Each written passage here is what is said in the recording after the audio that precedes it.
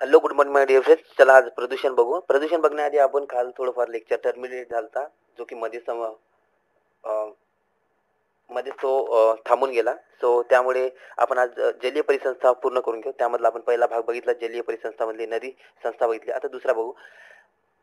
तळी व सरोवरे परिसंस्था. त्यामध्ये तळ्यातील परिसंस्था कशी असतात? तळ्यातील सजीव जन्मता अन्नभक्षक अन्नभक्षण करतात. बघा जन्म झाल्या झाल्या बघा हे महत्त्वाचे शब्द आहे जे काही मी बोलून राहिलोय. जन्म झाल्या झाल्या ते अन्नभक्ष करतात. प्रसंगी हे सजीव परस्परांचे भक्ष बनतात व ते नष्टही होतात. नष्ट झालेल्या सजीवांच्या अवशेषावर जीवाणू व विषाणू यासारखे विघटक आपले अपघटकांचे कार्य सुरू करतात की ते करतात की जे वनस्पतींच्या वाढीस आवश्यक असते. याच्यामध्ये सरोवरी परिसंस्था बघू आपण. तळी झालं. किनारा भाग उथळ पाण्यामुळे गवत व वनस्पती आढळतात. तेथे कृमी अळी उभयचर प्राणी आढळतात. अंतर्गत खोल पाण्यात मासे खेकडे व मृदकाय प्राण्यांचे वास्तव्य असते. जलपृष्ठावर पलवांगाचे वैपुल्य असते. तर पाण्याच्या खोलीनुसार जैविक समूहांचे प्रमाण कमी होत जाते. जलचराऐवजी उभयचर व भूचर प्राण्यांचे जीवसमूह वाढीस लागतात. सागर परिसंस्था बघू. या परिसंस्थेमध्ये विविध प्रकारचे जल वनस्पती व जलचक्र व उभयचक्र प्राणी आढळतात. आणि जल वनस्पतीचे विविध प्रकार असतात. सागर तळावर अनेक जीवजातीचे वास्तव्य असते. किनारे भागाकडे अनेक लहान मोठ्या परिसंस्था उदयास येतात. औद्योगिकरण वाढती. लोकसंख्या ज्या ताज्या व दूषित पदार्थाचे समुद्रामध्ये विसर् विसर्जन व सग व सागर तळातील तेल व विहिरी जलवाहतूक व अणुचाचण्या आण्विक तळ क्षेपणास्त्र चाचण्या यामुळे सागरी परिसंस्थेचे अस्तित्व दिवसेंदिवस धोक्यात येऊ लागलेले आहे. खाडी परिसंस्था बघू त्याला इच्चुरी इकोसिस्टम म्हणतो. नदी व समुद्र अथवा आखात व समुद्र येथे खाडी परिसंस्था आढळते. नदीच्या मुखाजवळ खाडी संस्था आढळते खरं सांगायचं खाडी प्रदेश बहुतांश उथळ असतात पोषक द्रव्यांनी विपुल असतात. अनुकूल पर्यावरणामुळे जीवसमूहांना पोषक परिस्थिती असते आणि जीवसमूहांचे अस्तित्व वैविध्यपूर्ण असते. अलीकडे खाड्या प्रदूषण वाढलेले वाढल्याने खाडी परिसंस्था अस्तित्वाला धोका निर्माण होऊ लागला आहे. बघा खाडी परिसंस्था एवढी चांगली योग्य परिसंस्था कोणतीच नाहीये. ओके? प्रदूषण बघू प्रदूषणाची पहिले व्याख्या बघू. सो प्रदूषक राष्ट्रीय विद्यापीठ मार्गदर्शक अहवालानुसार एक व्याख्या आहे आधी तो बघून घेऊ. प्रदूषक म्हणजे हवा पाणी किंवा जमीन यांच्या भौतिक रासायनिक आणि जैविक गुण वैशिष्ट्यांच्या होणारा अनिष्ट बदल होय की जो मानव व इतर जीवसृष्टी औद्योगिक प्रक्रिया आणि विद्यमान स्थिती आणि सांस्कृतिक मालमत्तेस हानिकारक आहेत. प्रदूषकाची एक व्याख्या आहे भारतीय कायदा एकोणीसशे शहाऐंशी नुसार प्रदूषण प्रदूषक म्हणजे घन द्रव किंवा वायुरूप असा कोणताही पदार्थ की ज्याच्या अस्तित्वाने पर्यावरणास अपाय होतो किंवा ज्याची तीव्रता पर्यावरणास घातक असते. बघा कोणताही प्रदूषक घन किंवा द्रव या स्वरूपात जर ऍड होत असेल एखाद्या घटकामध्ये तर तो प्रदूषण म्हणून आपण गणला जातो.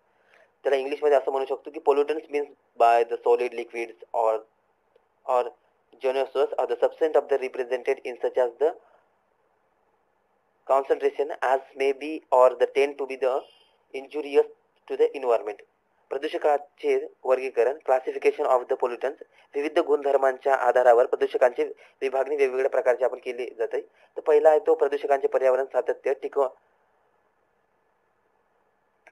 टिकाऊ वरून दोन प्रकार पडतात. एक प्राथमिक प्रदूषक आहे. सो प्राथमिक प्रदूषक कसे आहे बघू आपण. पर्यावरणामध्ये दीर्घकाळ टिकून राहणारी आणि अतिरिक्त होऊन जाणारी प्रदूषके उदाहरणार्थ डी डी टी येतो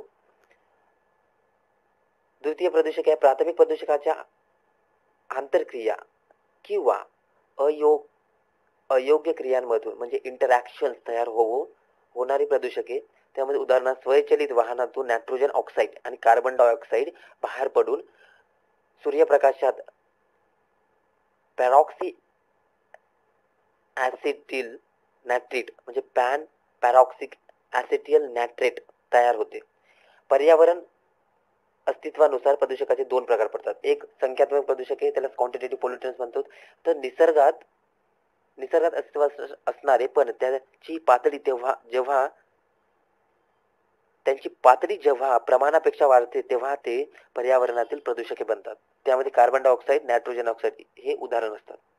गुणात्मक प्रदूषके असतात त्यांना क्वांटिटेटिव्ह पोल्युटन्स म्हणतात. निसर्गात अस्तित्वात नसलेले परंतु मानवी क्रियांमधून निर्मिती प्रदूषक आहे. त्यात उदाहरणार्थ डीटीटी आणि बुरशी के त्याला फंगी साईड असे म्हणतात किंवा तन्नाशके हॉर्बिसाईड सो हे झाले आहे प्राथमिक प्रदूषके. द्वितीय प्रदूषके. द्वितीय प्रदूषकात प्रदूषिकेमधले हे खालचे जे घटक आहे तीन आणि चार ते उपघटक आहे. संख्यात्मक प्रदूषके असतात आणि गुणात्मक प्रदूषक सुद्धा असतात. ते आपण बघितले कशा प्रकारे असतात. संख्यात्मक म्हणजे काय? गुणात्मक म्हणजे काय? सो हे सारे घटक आहे. ह्यानं सो प्रदूषकाचे उगमस्थाने बघून घेऊ आपण. काय काय असू शकते? सो उगमस्थान असं असू शकते की अनैसर्गिक घटकामधून सुद्धा प्रदूषके बाहेर पडू शकतात. मानव निर्मिती पण असू शकतात. मानवाने जे काही कार्य केले त्याद्वारेही प्रदूषके बाहेर पडू शकतात. ते कोणते असू शकतात? काही पण असू शकतात असं काही नाही आहे सो औद्योगिक औद्योगिक म्हणजे कारखाने धंदे याद्वारे सुद्धा प्रदूषके बाहेर पडत असतात. आपण बघत असतो. पृथ्वी बाह्य होतात. हे बरोबर आहे. शेतीमधूनही प्रदूषके बाहेर पडतात. आणि जनजीवन जे काही जनजीवन आहे आपलं जे काही प्राणी व्यवस्था आहे त्यामधून सुद्धा. ठीक आहे? हे झाले प्रदूषकाचे उगमस्थाने सांगितले. आता यानंतर आपण बघणार आहोत प्रदूषकाच्या नैसर्गिक विनियोगावरून दोन प्रकार पडत असतात. त्यातला दोन प्रकारामधला एक प्रकार आहे विघटन करणारे प्रदूषके त्याला डिग्रेडेबल्स म्हणतात आणि दुसरा अविघटन प्रदूषक आहे. पहिला बघू आपण. यात सूक्ष्म जीवांकडून विघटित किंवा अपविघटित होणाऱ्या टाकाऊ प्रा पदार्थांचा समावेश होतो. उदाहरणार्थ मैला. मैलालाच आपण सेवेज असे म्हणत असतो. सो हे विघटित पदार्थ काय? अविघटित पदार्थ पदार्थ कसं असतो? नॉन डिग्रेडेबल पोल्युटन्स अपघटक न होणाऱ्या किंवा अंतिम संत गतीने अपघटक होणाऱ्या प्रदूषक पदार्थांचा यात समावेश होतो. यामध्ये प्लास्टिक तर पहिले आहेत. ग्लास प्लास्टिक ग्लास प्लास्टिक बाटल्या कॅन सग म्हणजे प्लास्टिक सगळं यांचा समावेश यामध्ये होत असतो. सो लास्ट अँड फायनल बघू आपण. बघा मी साऱ्या गोष्टी एक्सप्लेन करत आहोत डिटेलमध्ये प्रदूषक म्हणजे काय? तर आजचा आपला लेक्चर फक्त प्रदूषकापुरतच मर्यादित राहणार म्हणजे प्रदूषण पुरतच मर्यादित राहणार उद्यापासून आपण जलीय प्रदूषण म्हणजे काय? त्याचे प्रकार कोणते कोणते? तर उद्यापासून आपण त्या साऱ्या घटकांचा अभ्यास करणार आहोत इथं. ओके सो डोंट वरी म्हटल्याप्रमाणे आपण पूर्ण विषय संपणार संपवणार आहोत. ज्या प्रकारे आपण म्हटले होते की तुषार गोरपडे सरांचा पूर्ण विषय संपवणार ना सो तुषार गोरपडे सरांचा आपण पूर्ण शिकवणार. त्यानंतर आपण भूगोल घेणार आहोत तुमच्यासाठी.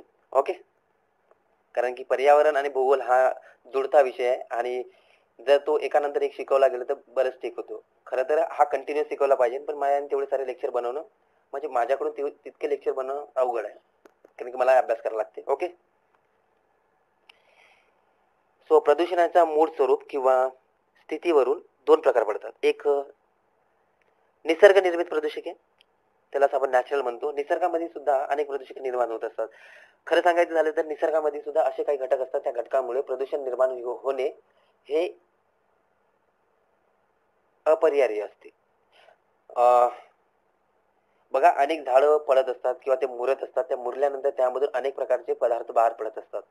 सर ते मुरल्यानंतर अनेक प्रकारचे पदार्थ सुद्धा एक त्यामधील काही पोषक पोषक पदार्थ असतात तर त्यामधील काही विघाटक विघातक किंवा घातक पदार्थ सुद्धा असतात. सो हे नॅचरल असू शकते. प्राणी मेल्यानंतर त्यानंतर किंवा बघा सोप्या शब्दात सांगितलं ज्वालामुखी. ज्वालामुखीमधून कार्बन डायऑक्साईड मोनॉक्साईड सल्फेट यासारखे पदार्थ बाहेर पडत असतात.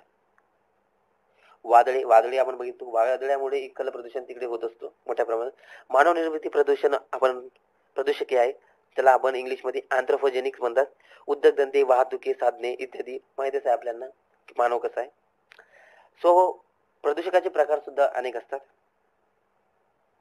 ते काय असतात? एका शब्दात सांगू इच्छितो. उद्यापासून आपण वायू प्रदूषण बघू एअर पॉल्युशन सो पर्यावरणाच्या विविध घटकात होणाऱ्या प्रदूषकावरून प्रदूषणाचे पुढील प्रकार पडतात. एक